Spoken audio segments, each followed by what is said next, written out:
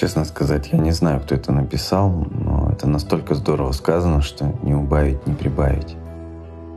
Сын как-то спросил своего отца, как вы жили раньше без доступа к технологиям, без интернета, без компьютеров, без телевизоров, без кондиционеров, без мобильных телефонов?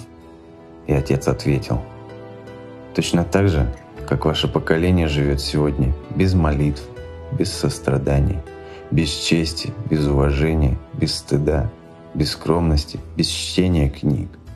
Мы, люди, которые родились между 45 и 85 годом, являемся благословенными. Наша жизнь — живое тому доказательство.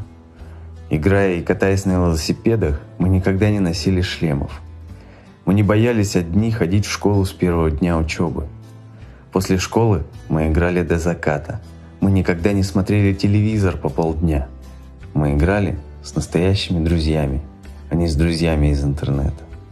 Если мы когда-либо испытывали жажду, мы пили водопроводную воду, а не воду в бутылках. Мы мало болели, хотя раньше мы делили один и тот же стакан сока с четырьмя друзьями.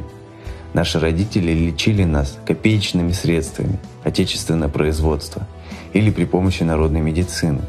Мы никогда не набирали вес, хотя мы ели много хлеба и картошки каждый день. Мы привыкли создавать свои игрушки и играть с ними. Мы делились своими игрушками, книжками. Наши родители не были богаты, они дарили нам свою любовь, научили нас ценить духовное, а не материальное. Дали нам понятие о настоящих человеческих ценностях, честности, верности, уважении, трудолюбии. У нас никогда не было мобильных телефонов, DVD, PlayStation, Xbox, видеоигр, персональных компьютеров, интернет-чата. Но у нас были настоящие друзья. Мы посещали дом нашего друга без приглашения – нас угощали простой и скромной едой. Наши воспоминания были на черно-белых фотографиях, но они были яркими, красочными. Мы листали с наслаждением семейные альбомы и хранили с благословением портреты наших предков. Мы не отправляли на помойку книги, мы стояли за ними в очередях, и потом за поем их читали.